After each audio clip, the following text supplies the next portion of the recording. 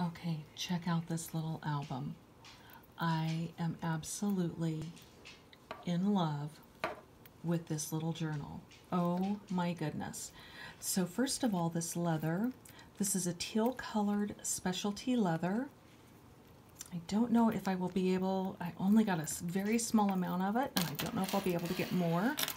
And I tried to keep some of the natural features that were in the leather.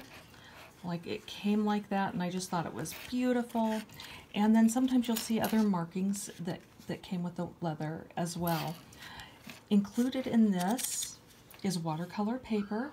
We've got six signatures, and so you've got 96 total pages in this little mini journal.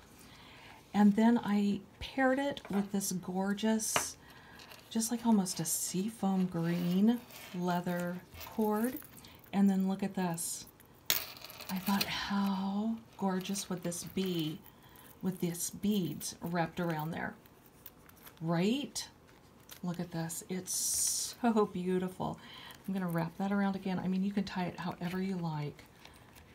And I'm just going to, yeah, slip it in there.